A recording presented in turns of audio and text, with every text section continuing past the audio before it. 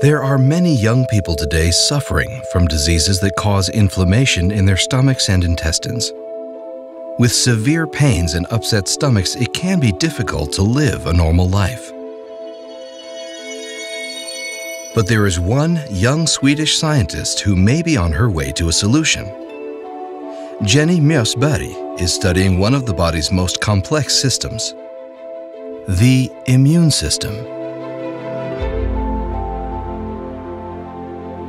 Our immune system actually exists to help us fight against various diseases and protect our bodies. But sometimes the immune system goes awry and creates unnecessary inflammation, which can make us seriously ill. Jenny's research team is studying a newly discovered part of the immune system found in the intestines that may be the key to stopping these inflammations. Our research is, is aimed at understanding more about the immune system in the intestines and what happens when something goes wrong, like in inflammatory bowel disease. And the ultimate goal is, of course, to, to find new treatment strategies and find uh, curing treatments uh, for these diseases. At the Karolinska Hospital in Huddinge, Sweden, they are seeing patients who have problems with stomach and intestinal inflammation. Hej, är det Panos? Ja, hej, välkommen till oss. One of these patients is 19-year-old Panos, who, two years ago, was diagnosed with an intestinal disease called Crohn's disease. I had to stop training.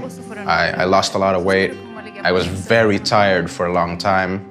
Uh, I fell behind a lot in school, so I, I lost a whole year. Honestly, it was just a lot of change to deal with at one time. Since then, Panos has been receiving medication to alleviate the symptoms of the disease, but he still sometimes needs to return to the hospital. This time it is to extract new tissue samples. Jenny works together with the clinic at the hospital. She gets a small sample of intestinal tissue. The ability to conduct research directly on human specimens makes Jenny's research very unique. Okay, good. This, this looks really good. Most of the research that is done today on inflammatory bowel diseases is done on mice, um, but it's not certain that the disease mechanisms are the same in mice and humans, and that's why it's so important to do research on, on human material. Now the process begins where Jenny's team studies how these immune cells are affecting inflammation in the intestines. These cells are called ILC cells, the immune system is largely made up of white blood cells within the bloodstream. But a few years ago, scientists discovered these new ILC cells in the stomach and intestines. Their task is to respond when harmful bacteria or viruses attack the stomach. These immune cells then quickly send out signals to initiate a defense against the attack. Sometimes, however, these ILC cells become overactive as a result, they create a severe inflammation that harms the body instead of helping it. The um, exaggerated activity of ILC cells is uh, something that we don't know so much about and that we would like to know much more about. It could be caused by uh, genetic uh, problems. It could also be caused by treatment, uh, by, for example, anti-inflammatory uh, drugs or antibiotics. To study the ILC cells, Jenny's team cleans the intestinal samples with the help of enzymes. But this alone is not enough. Even more advanced technology is needed in order to sort out the cells. So now we are adding antibodies uh, which uh, attach to the surface of the cells. And uh, that is uh, for us to be able to analyze these cells with flow cytometry later.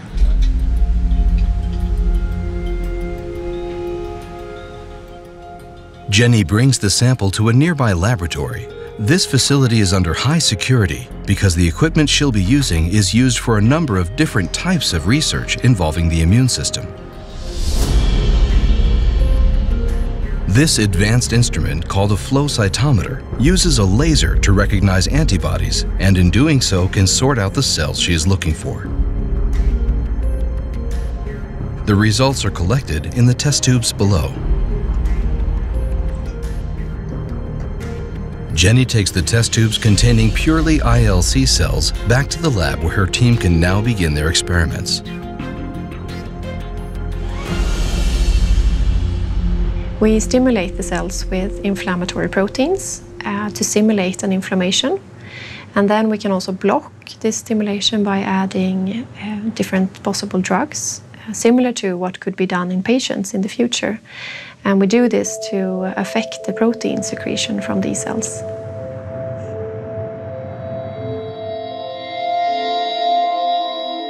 The proteins that ILC cells produce are the signals that influence inflammation. Different substances trigger the cells to build different types of proteins. The team is now trying to find drugs that will cause these cells to produce proteins that can reduce inflammation, which by inference could stop intestinal diseases like Crohn's. The immune system is very advanced, and we don't really know yet what the results from influencing the ILC cells will be. But if Jenny's team succeeds, there is a good chance that they will not only have solved Crohn's disease, but perhaps several other common diseases as well. The functions of uh, ILC cells is very similar in different parts of the body. So if we could understand more about ILC cells, then we could potentially treat in a better way other diseases such as psoriasis and rheumatoid arthritis. Panos's disease sometimes relapses. It can be almost good and then it gets worse again.